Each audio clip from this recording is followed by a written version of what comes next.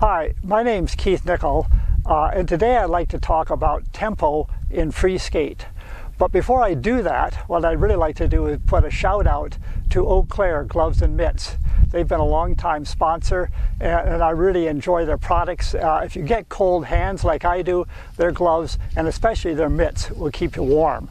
They've also started to get into hats and, and tubes and this sort of thing. I find this really handy. I can pull it up when I go into the lodge uh, and uh, for COVID-19 purposes, it uh, works outside as well as inside.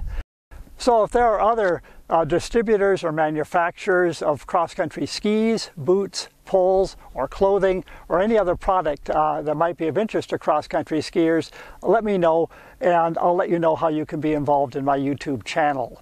Currently we're getting about 4,500 views a day and overall my videos have been viewed over 4 million times. But what I'd like to do now is look at free skate uh, under different types of tempo situations. So if my objective is to go as fast as possible, I try to land on a flat ski, but I move my upper body right down the track. Often when I see free uh, people doing the free skate down the track, their legs are too wide apart and their skis are always landing on an edge. You can get going quite fast like this, but you really want to land on a flat ski. Landing on an edge ski is your problem. Try bringing your feet more underneath you like this, and you'll have more success with a bit better glide because you're now on a flat ski. So when we lengthen out the glide, change up the tempo, go at a slower tempo, uh, this is what it looks like. Remember, we still want to bring our feet right underneath our body like I'm doing now. I'm just lengthening out the glide.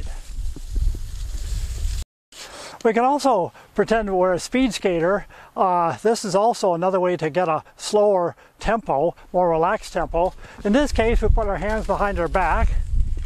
And just like speed skaters, we want to get a long glide. So we try to put our head over top of each ski to get a nice long glide.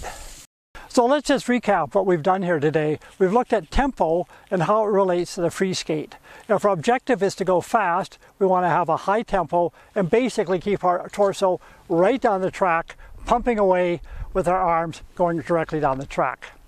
If on the other hand, we want to go at a slower tempo, maximize our glide, like many recreational skiers might want to do, we then, again, in both cases, put down a flat ski. But in the second case, we want to get up and over and balance on that ski. Ideally, put our toe, knee, and nose over top of that ski, and then move over to, over to the other ski and put the toe, knee, and nose over top of that ski. That Tony nose alignment will keep you uh, centered on your skis, balanced on your skis, and is a real key to good skating. Thanks for watching. If you like this video, give it a thumbs up, subscribe to my channel, and share it with skiers that you think might benefit. See you on the trails.